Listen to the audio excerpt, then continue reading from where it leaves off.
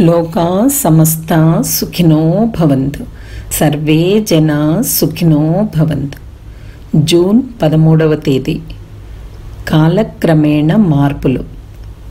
ఒకానొకప్పుడు మానవుని ప్రేమ ద్వేషభావాలు అడవిలో గుహల్లో నివసించే ఇతర ప్రాణుల కన్నా బలీయంగా మృగాల మాదిరిగా ఉండేవి. కాలం గడిచి జ్ఞానం పెరిగే కొద్దీ ఏ రోజుకు ఆ రోజు గడపడం కాకుండా అతడు ఆహారం వండుకోవడం కాంతిని ఉపయోగించడం భవిష్యత్తు కొరకు ప్రణాళిక వేసుకోవడం మొదలుపెట్టాడు. పొదుపు చేయడం నేర్చుకుని పొదుపు చేసిన వాటిని సంరక్షించుకోవడం మొదలుపెట్టాడు.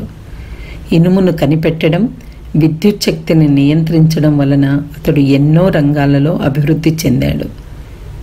కానీ పరమాణువును దాని శక్తిని కనిపెట్టడం మరియు దానిని మంచికి చెడుకు ఉపయోగించడం అతని జీవితంలో చెప్పుకోదగిన మలుపైంది.